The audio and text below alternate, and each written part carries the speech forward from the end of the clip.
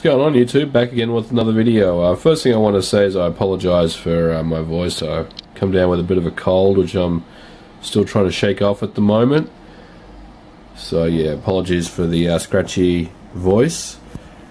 Uh, what I wanted to talk about today was I got uh, hold of a uh, new piece of hardware. This is an Amiga 500 and well it's an old piece of hardware but I've had Amigas before as, as mentioned but uh, I specifically was pursuing an Amiga 500 because I ended up getting one of these bad boys right here. This is the Individual Computers ACA 500 accelerator and uh, what this does is basically it's an accelerator for your Amiga 500 that will plug into the side uh, expansion port or the Zorro port and uh, by itself it gives you the ability um, to have two compact flash devices.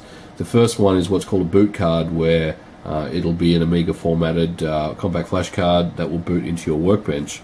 Um, the second one is an auxiliary port, which allows you to um, use PC formatted as well as Amiga formatted. And uh, you can actually boot from that, that device as well. There's really no difference. But um, the, the good news about this port here is it's hot swappable, so you can actually plug in your uh, compact flash card uh, into uh, into the uh, port there. It'll pick it up in the uh, workbench, and they can pull it out. You can and uh, and so on and so forth. And it's very very handy for moving files back and forth without having to reboot the system over and over again. Um, it doesn't work. The hot swappable functionality doesn't work with all compact flash cards but it certainly works with the ones I've, tested them on. The only one that doesn't work with is, uh, you know, mind you, I'm having issues with this uh, anyway, uh, just with regular Amiga stuff is a 16 gigabyte SanDisk, but uh, these kind of generic 1 gig, 2 gig, 4 gig cards, um, you know, the Chinese ones, they, they, they work fine um, from what I've experienced. So in any case, um, oh, and the third thing I want to mention was uh, it has Kickstart 3.1 and 1.3 on board, so you can actually toggle between both of those at boot time. Very, very handy for uh, game compatibility and stuff like that. And finally, the, the, the thing that's probably the most appealing is that it has a trapdoor expansion uh, connector here for an A1200. So you can take A1200 accelerators and plug it in on top here. Now, again, it doesn't work with everything, but it does work with all individual computers A1200 expansions. That includes the uh, 020 range and the 030 range. Uh, and I actually have one here, and this is the A1232 this is the uh, 030 accelerator clocked at 50, uh, at, sorry, at 40 megahertz. Um, and uh, this this works fine. I'll, I'll, illustrate how that that works here in a minute. Um, so, very very desirable piece of kit. Very cheap. It only costs ninety dollars from Amiga kit. Um, and uh, it's basically bringing the A500 back in the forefront of of you know of, of Amigas, and you know a lot of people argue that's where it should be, and and at the moment I'm having so much fun uh, just messing around with this stuff. It's it's uh, it's been totally awesome. Um, I will say this: uh, the price of Amiga 500s has skyrocketed in the last uh, few months. So you know, if you are interested in, in, in getting a setup like this or an A500 again, um, first of all, don't think that you can just pick one up for like 20 bucks.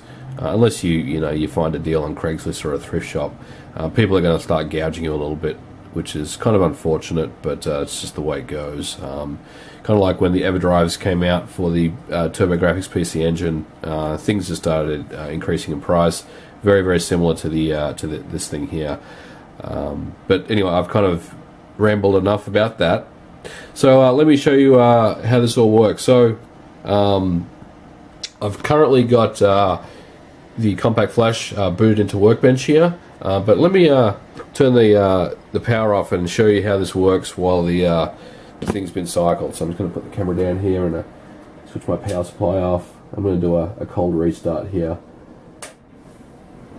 So the first time you turn the, the unit on, uh, you'll get this menu here. And this is the ACA 500 menu. Uh, and basically, uh, you got different options here, but basically what you can do is boot into fast memory.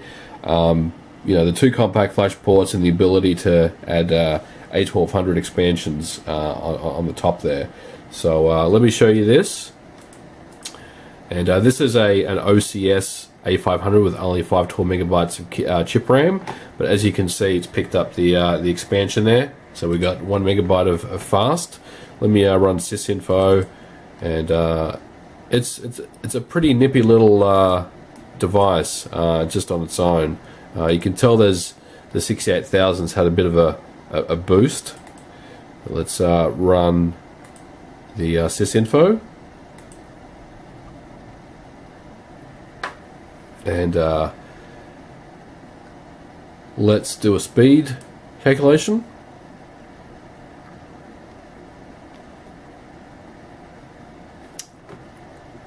Alright, now the first thing to note is the CPU is at 14 megahertz there, which is which is correct. And if I expand this, um, basically what we're seeing here is we're 2.72 times as fast as an A600 without any fast memory, of course, but we're we're double the speed of a a, a, a, a 2000, and um, we're a little bit faster than an A1200. Um, we're at uh, 1.86 times the chip speed or the chip RAM speed of an A600, and uh, we're, we're going at uh, 1.5 MIPS, which is uh, again, you know, as mentioned, it's a it's a pretty it's not significant, but it's a little kick in the pants uh, for your 68,000. Uh, it will certainly help with some of those games that kind of chug along a little bit. Um, so that in itself is uh, is very very cool. Now the next thing to show you guys is the hot swappable functionality. If you take another compact flash card and put it in the the auxiliary port here, popped it in there. There you go. It's uh, it's flashing amber, and um, it should uh, pick it up here. There it is. There's my my work disk um, with all my files on there. And uh, again, you know, if I if I pull this out, that will go away. Let's close that. It should go away. It may be locked actually. There it goes. It's it's gone. It's just a little bit slow, I guess, because it's sixty-eight thousand. Um, look um, so yeah. makes me feel like there's a lot of power uh, running it, you know, and, and stuff like that. So um, I don't know. I mean, uh, you know, if, if there is a nice uh, case solution that comes out for it, I, I may uh, end up getting one. But uh, obviously, ventilation and cooling and heat is uh, is of a, is of an issue as well. Um, but in any case, we've uh, hooked up the A1230 030 expansion accelerator. that also comes with 128 megabytes of fast memory.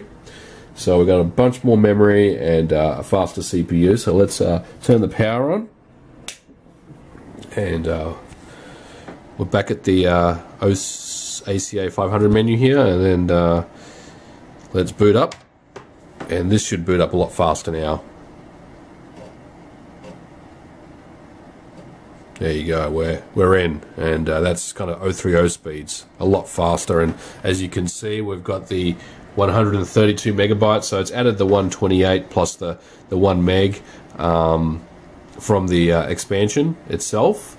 Uh, and if we run that sysinfo again,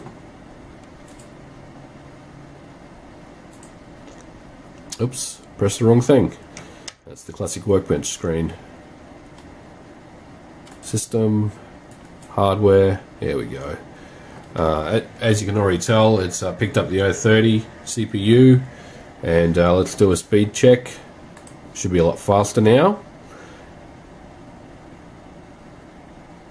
There you go. We're at uh, we're almost at nine MIPS now. I can I can't actually get that to nine MIPS. Uh, there's some tweaks we can use. Uh, you know, move Kickstart into use ACA Tune, which is a, a resident program that will um, map the ROM uh, into fast memory. Will basically give us almost another thousand Dhrystones and over nine nine MIPS. but you know, either way, this is a pretty fast little uh, setup now, which is uh, totally awesome. And uh, this really opens up um, the door for WHD load and stuff like that. Um, this one is no exception. I certainly recommend this if you are a A500 owner.